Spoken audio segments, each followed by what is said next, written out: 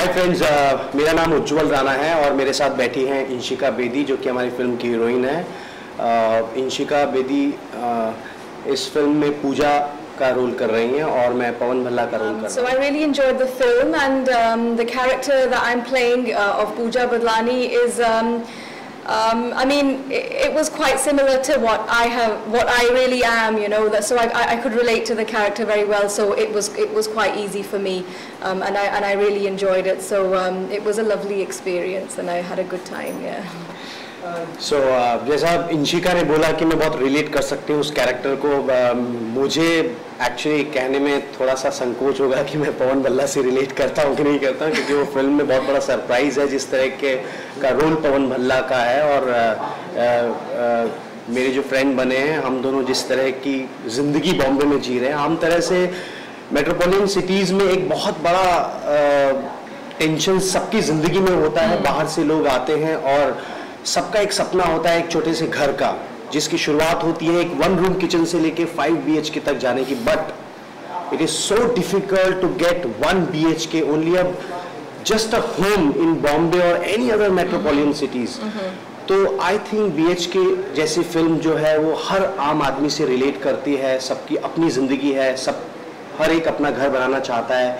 और इस सिचुएशन में फंसकर पवन भल्ला और उसके साथ साथ उसके रिलेशन में पूजा एंड इनके माँ बाप और हमारे फ्रेंड्स किस तरह से फंस जाते हैं इस तरह की ये बहुत ही इंटेलिजेंटली लिखी हुई कॉमेडी है जिसमें yes. आपको अ, ना चाहते हुए भी फंसना पड़ेगा और हंसना पड़ेगा अ, फ़िल्म जो मेरे जहन में आई वो सबसे पहले क्या कि ये बहुत ही जो डे टू डे लाइफ में जिस तरीके की चीज़ें होती हैं कि ज़रूरत जो नीड है आज की डेट में, घर को लेकर के, मैं खुद भी उस तरीके की ज़रूरत से घिरा हुआ हूँ कि एक अपना खुद का एक घर बना पाना, किसी भी शहर में चाहे वो मुंबई हो, चाहे वो दिल्ली हो, चाहे लखनऊ हो, या कहीं भी हो, उस घर का बना पाना एक आम इंसान के, एक कॉमन मैन की लाइफ में कितना मुश्किल होता है, वो लेकर के मेरे जहन खुद भी मेरे सामने वो problems day to day life में आती रही।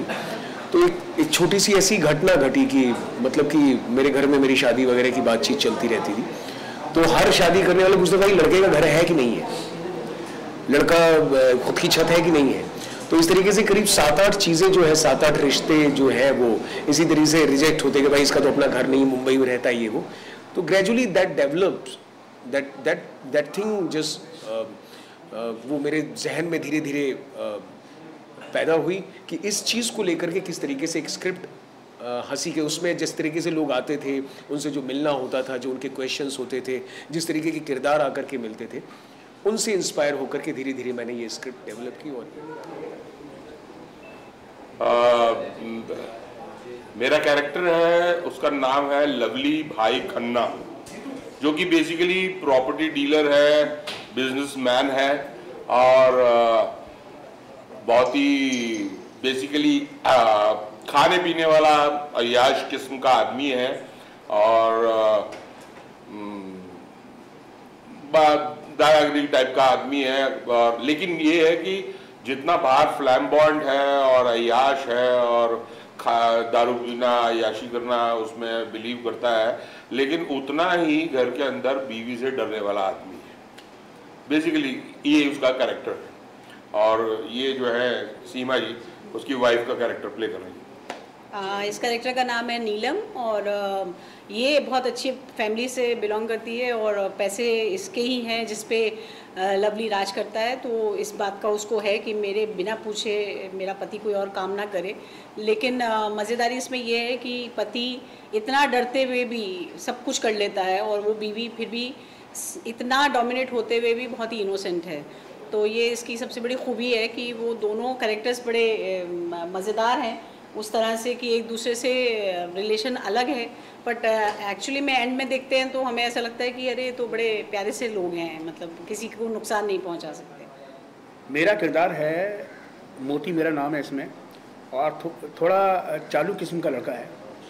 जैसे कि कुछ कुछ फ़िल्मों में करता रहता हूँ इस तरह के काम और इसमें मैंने कुछ कुछ थोड़ा अलग तरीके से किया है चालू बना।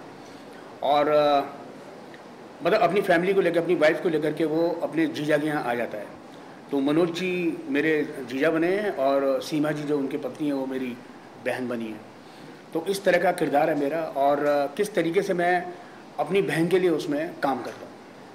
सर मैं स्पाई हूँ मतलब अपनी बहन का। सर आप इस फ़िल्म के साथ कैसे जुड़े? भाई अपने डायरेक्टर साहब राजकुमार जो है वो आ, हमारे बहुत अभिन्न मित्र रहे हैं और उनकी स्क्रिप्ट तो उसका ये रहता है कि सबसे पहले जब भी कोई अपने आसपास का फ़िल्म बनाता है प्लान करता है तो अपने आसपास के लोगों को टटोलता है। तो उसने कॉन्टेक्ट किया बताया कि भाई ये इस तरह की कहानी है। वो कहानी मेरे को बहुत अच्छी लगी बहुत एंटरटेनिंग लगी तो मैंने और किरदार मुझे अपना बहुत पसंद आया। तो मैंने किया इस तरीके से। है है, पावा है पावा साहब के साथ मैं पहले भी काफ़ी सारा काम कर चुका हूँ। सीमा जी के साथ मैंने आँखों देखी की हुई है। तो बिल्कुल एकदम फैमिली रिलेशनशिप तो बिल्कुल बनती हुई चली गई अपने आप। ऐसा लगा जैसे कि मैं सच में ही इनका साला हूँ और ये मेरे जीजा हैं, ये मेरी बहन है। और, बहुत ही उम्दा तरीके की कॉमेडी निकल के आई है। और मुझे उम्मीद है कि दर्शकों को बहुत अच्छी लगेगी। मेरा नाम राहुल मिश्रा है और मैंने इस फ़िल्म में बी में म्यूज़िक किया है और गाने लिखे भी हैं और एक गाना गाया भी है मैंने। मैं बेसिकली इलाहाबाद से हूँ और संगीत का म्यूज़िक का शौक़ बचपन से रहा है और पढ़ाई के साथ साथ म्यूज़िक भी करता आ रहा था मैं और गाने वगैरह बनाता जा रहा था। और जो शौक़ था वो खींच के मुंबई लेके आया मुझे। तो बस अभी कोशिश जारी है कुछ अच्छा काम करने की और राकेश जी से मैं शुरुआत के दिनों में जब मैं आया था तो मिला था उनसे। तो उन्होंने बोला था कुछ अच्छा तू बन के वीर जांबाज बड़ा मैदान जंग में आया। ले हाथ हाथ तलवार बावरे कर तब सौ दिखलाया काहे? फटके भाई फालूदा काहे?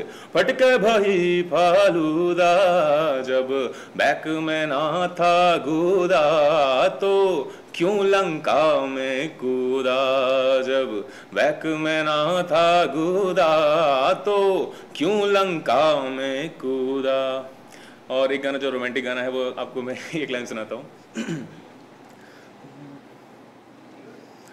आरज़ू है कि तू इश्क पहचान ले, तुम पे मरते हैं हम इतना तो जान ले। तेरी नज़रों से छुपा के नाम तेरा ले रहे।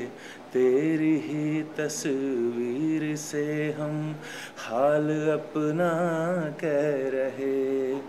ये सच है, बात यही तो है।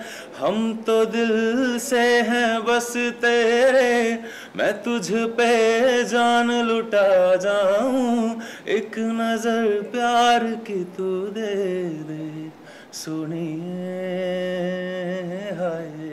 मेरा एक लॉटरी बेचने वाले का किरदार है बब्बू खान करके एक कैरेक्टर है जो लोगों को उकसाता रहता है कि भाई लॉटरी खरीदो और उधार भी देता है। तो उसी चक्कर में एक करेक्टर को उधार दे करके कुछ ढाई तीन लाख का उधार है दो लाख अस्सी हज़ार का उधार है अ, वो उससे लेने जाता है तो उसी घर में पहुँच जाता है जहाँ पर ये सारी फ़िल्म की जो कन्फ्यूज़न है जिस घर को लेकर के हैं तो वहीं घर में पहुँच जाता है तो अल्टीमेटली मेरा भी जाना वहीं कुदरती हो जाता है सिचुएशनली तो नेगेटिव किरदार है? नेगेटिव पॉजिटिव इस फ़िल्म में ऐसा कुछ मुझे लगता है कि है नहीं, कि नेगेटिव कुछ ऐसा विलेन टाइप कुछ ऐसा नहीं है। हाँ लेकिन इतना ज़रूर है कि बहुत क्यूट सा करेक्टर है, मैं नेगेटिव नहीं बोलूँगा। छोटी छोटी जो प्रॉब्लम्स होती हैं रोज़मर्रा की ज़िंदगी में आम लाइफ में हमारी वैसा ही करेक्टर है एक ना कोई ऐसा कत्ल करने वाला या खून करने वाला या रेप करने वाला या कोई उठा के ले जाने किडनैप वाला गंगा जल टाइप ऐसा कुछ नहीं। गंगाजल ने आपको एक नई पहचान दी एक अलग मुकाम दिया। अभी जय गंगाजल का ट्रेलर रिसेंटली लॉन्च हुआ है तो क्या कहना चाहेंगे? शायद आपने ट्रेलर देखी होगी। ट्रेलर देखा मैंने बहुत कमाल का है बहुत ही बढ़िया है इंटेंस है एंड बहुत ही अच्छे एक्टर हैं। मानव कौल प्रकाश झा खुद भी एक्ट कर रहे हैं जो कि कमाल के एक्टर हैं वो अभी पता चल रहा है। और काश मैं भी होता इस फ़िल्म में लेकिन मार दिया मुझे पहली फ़िल्म में पहले गंगाजल पार्ट वन में ही। पर आई होप कि ये अच्छी ही होगी अच्छी ही बनी होगी क्योंकि आ, उनके ऊपर जिम्मेवारी ज़्यादा डबल हो गई थी कि गंगाजल क्योंकि इतनी अच्छी बन चुकी थी कि पार्ट टू बनाने के लिए उनको चैलेंज था कि उससे अच्छी होनी चाहिए।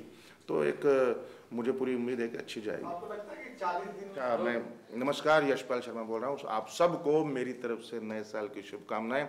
नया साल 2016 आप सबके लिए बहुत बहुत बहुत बहुत।